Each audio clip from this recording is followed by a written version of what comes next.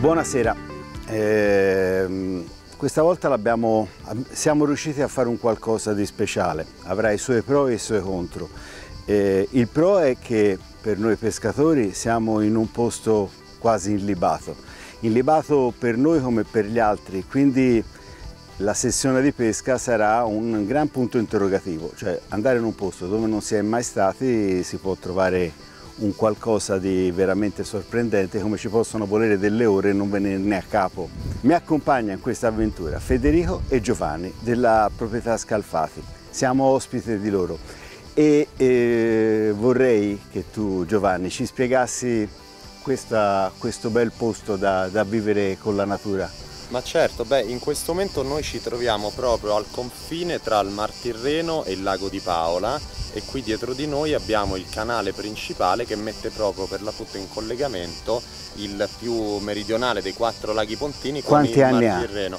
Questo canale è abbastanza vecchiotto, diciamo che il primo scavo risale a circa 2000 anni fa, mm. poi vi porterò a vedere la muratura originale ancora presente, la canaletta invece, la seconda biforcazione è più recente, parliamo eh, diciamo di un periodo intorno al 1720. Ah, Comunque è un luogo incredibile che rende per la prima volta questi stagni di acqua dolci, delle vere e proprie valle da pesca, salmastre, gli stessi romani 2000 anni fa decidono di accedere all'interno del lago di Paola non solo per raggiungere la villa dell'imperatore Domiziano che era stata edificata proprio sulle sponde del lago ma anche per avviare una vera e propria valle da pesca fatte di pesca sul lago e di peschiere a terra che erano delle vere e proprie opere di ingegno dei romani che già 2000 anni fa quindi eh, conoscevano la qualità della spigola che ancora oggi noi se siamo fortunati riusciamo a catturare.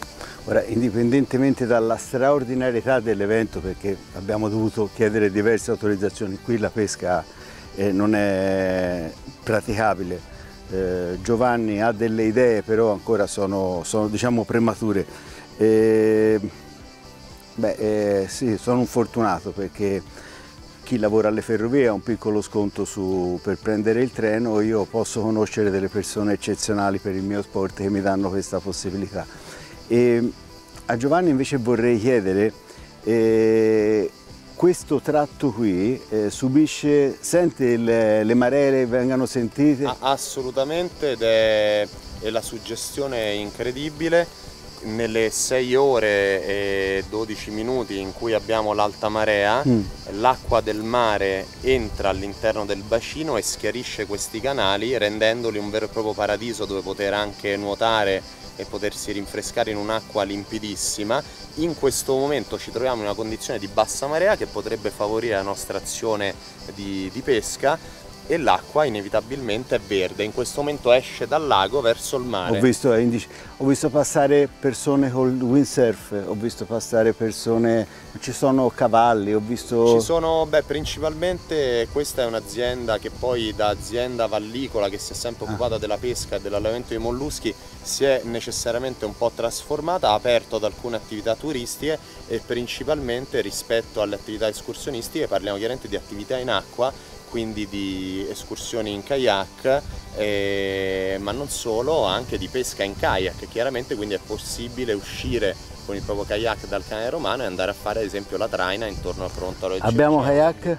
Non credo, non l'abbiamo portato. E allora oggi rimaniamo a terra, oggi rimaniamo a terra. Quindi per una famiglia che vuole passare un bel fine settimana ci sono gli alloggi, ci sono le, i, attività, le attività e quindi c'è un'ombra deliziosa perché in questi giorni di caldo è un qualche cosa di stressante. Assolutamente, diventa una piccola oasi a due passi da una grande città come, come quella di Roma e quindi ce la godiamo oggi insieme.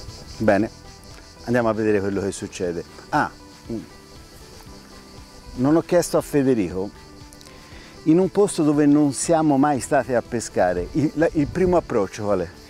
Allora, il primo approccio, quello che pensavo io, è andare a misurare il fondo, il fondo, e capire un attimino la forza della corrente e in base a quello andare a stabilire quale linea di pesca fare, quale grammatura e soprattutto che tipo di piombatura adattare a questo tipo di, di canale. Insomma. Pesci, orate? Orate, spigole. Cefali, uno l'ho visto. Cefali, diversi tipi di cefali, ah. chiaramente Qualche sarago io avevo visto. Come no? Ma eh, pensate all'interno del bacino noi troviamo tranquillamente sogliole, eh, eh, quindi c'è di tutto, c'è di tutto. Il pesce entra naturalmente dal mare cioè, e si riversa. Dio dall'alto ha buttato un bacio qui e ha fatto eh. bello, bello, bello. Speriamo che qualcosa ci tocchi anche a noi. Speriamo che i romani abbiano lasciato qualcosa per noi. Andiamo.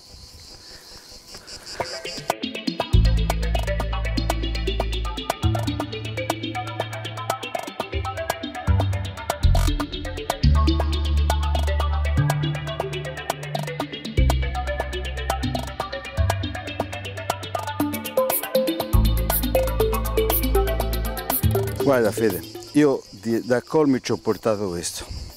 Praticamente io vedo bene questo galleggiantino qui per eh, la trattenuta perché l'acqua va. Ho notato che le antenne sono un po' piccole perché è una micro starlight di 2,2.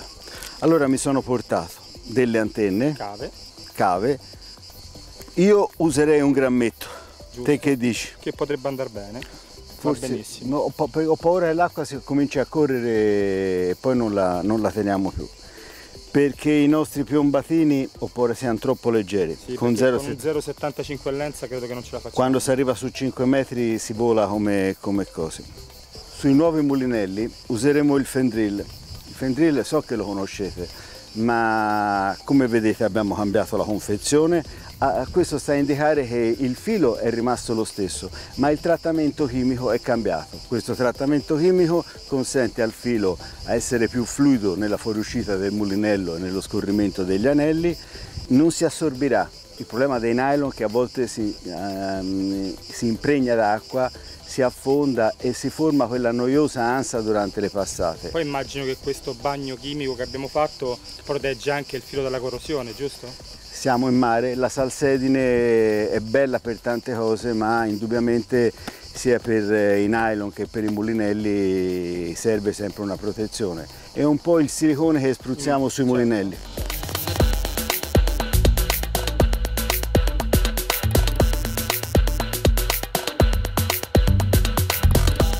Per la madrelenza usiamo l'F1 Spider, è un filo che nasce solo per eh, in misure dal 9 fino al 20, serve solo per fare le madrelenze.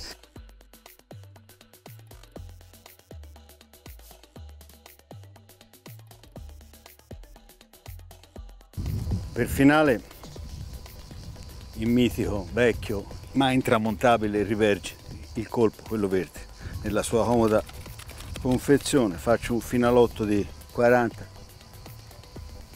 50 cm e siamo a posto. Sto legando un B900 del 18, poi vedremo eh, se cambiare gli ormeggi. Speriamo. Anche se è sbagliato partire fini, sarebbe meglio partire più grossi. Tanto quello bello mangia subito.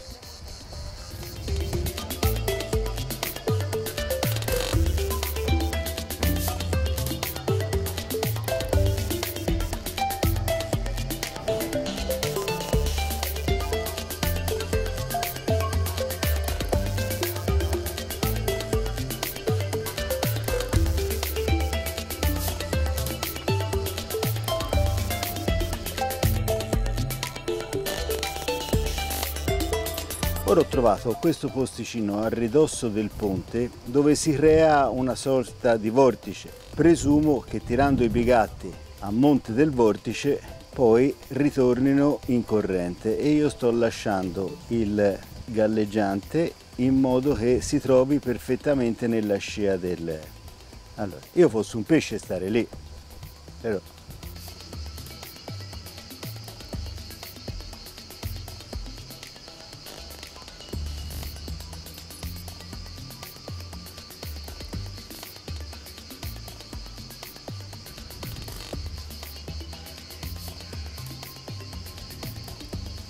abbiamo preso il primo pescetto della giornata.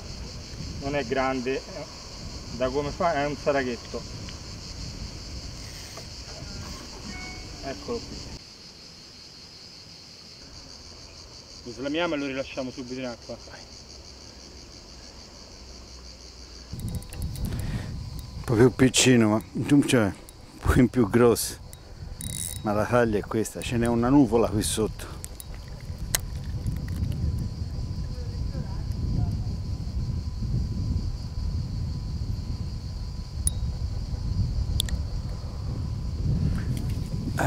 rilega l'amo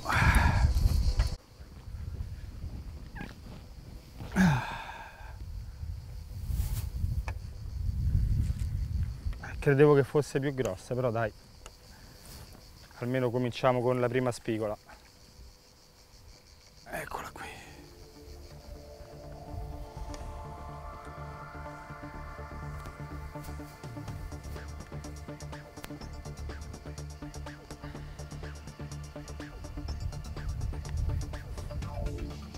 la ributtiamo in acqua perché ancora merita questo merita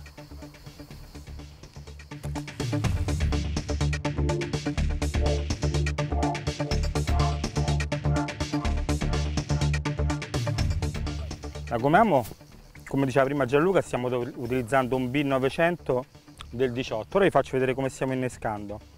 In questo momento sto pescando con due bigattini appuntati perché è un innesco molto mobile, come vedete molto catturante. Ora proviamo a vedere se le spigole ci danno ragione. Altro giro, altro pesce. Adesso sembra che siano entrati in pastura i pesci sempre bei pesciotti, non enormi, però insomma ti diverti. Ecco, la stiamo portando al guadino.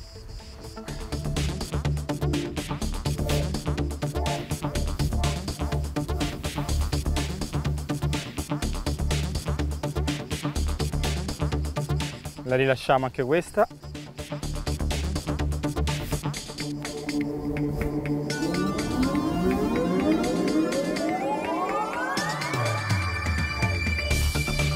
e via.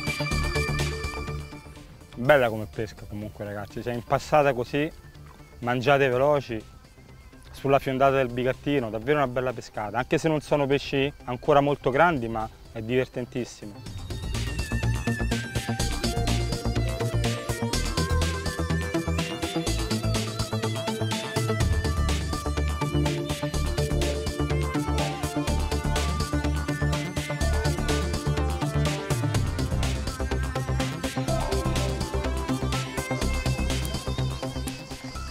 quella di anzi.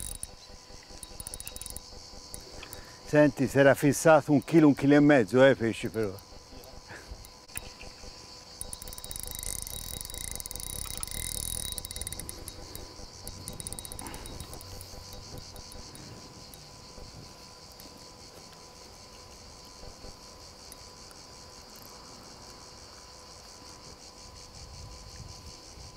Sono piccolino ma divertente.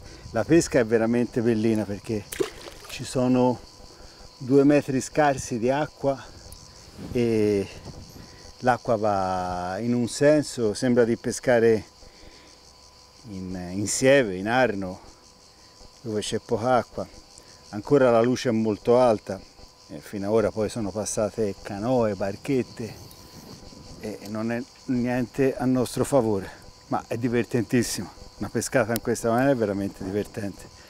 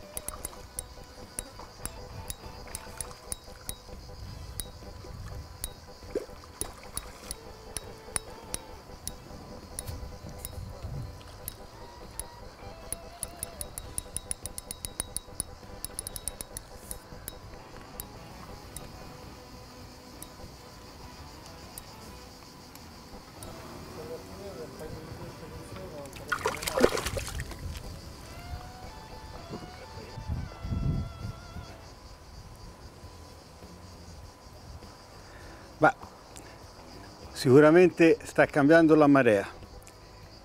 La luce si è abbassata, il predatore in un metro e mezzo d'acqua sicuramente fa un po' di confusione e ha difficoltà a venire a mangiare.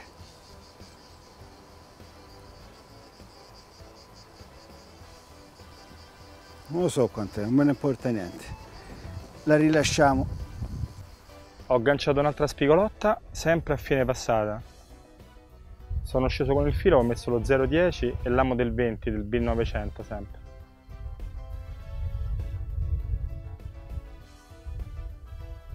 È un bel pesciotto.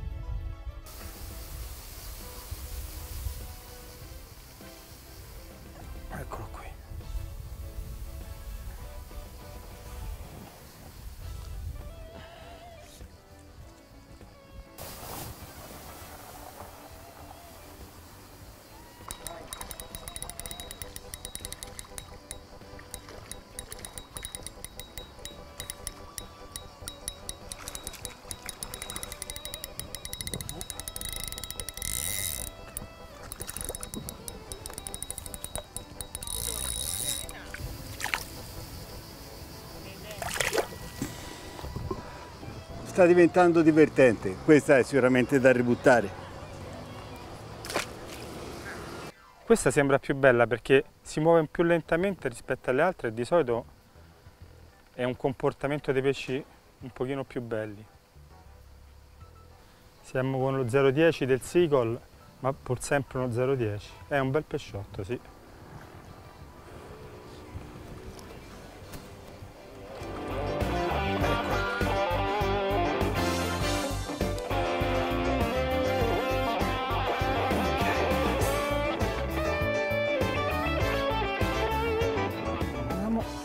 Facciamo vedere. Davvero un bel pesce. Guardate che passata meravigliosa. Adesso va lentissima proprio. Andiamo appena a due bigattini ma due di numero proprio. Mangiato ancora un altro pesciotto. Adesso ho cambiato innesco sto pescando con un bigattino innescato per il centro e va molto meglio adesso Eh, comunque non sono spigole piccole, cioè sono pesci di media taglia che sono assolutamente combattivi poi in quest'acqua. Sarà sicuramente un'acqua, come diceva prima Giovanni, cristallina e quindi i pesci sono ben ossigenati.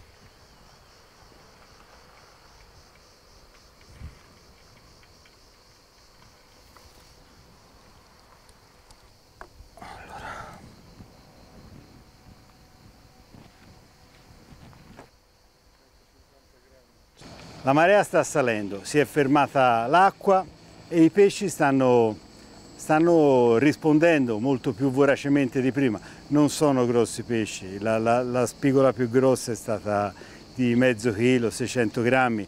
Ne ho lasciate in acqua un paio, ma perché peschiamo con i fili dell'8, del 9, del 10, ami del 18, del 20. Io con la Royal, con la Royal 100, che è una canna che ti permette di di sbagliare poco perché accondiscende sempre alle, alle, alle, alle ripartenze del pesce ti permette di usare sicuramente una misura in meno di finale. Ho provato il Kiger, il nuovo mulinello, e mi piace, ha una frizione come voglio io, quindi io la taro a inizio pescata sull'8, sul 9, sul 10 e non la ritocco più. Speriamo ora nell'ultimo pesce della notte perché non possiamo rimanere a buio, ci aspetta uno spaghetto alle vongole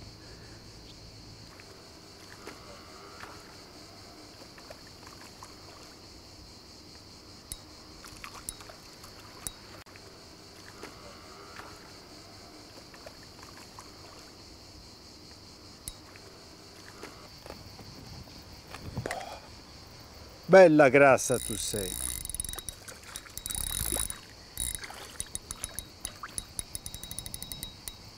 Sai che fosse più piccina? Senza guadino non è una gran cosa, io ve lo dico, montatelo sempre. Non fate come me che sono superstizioso, non lo monto mai e gli altri sono lontani.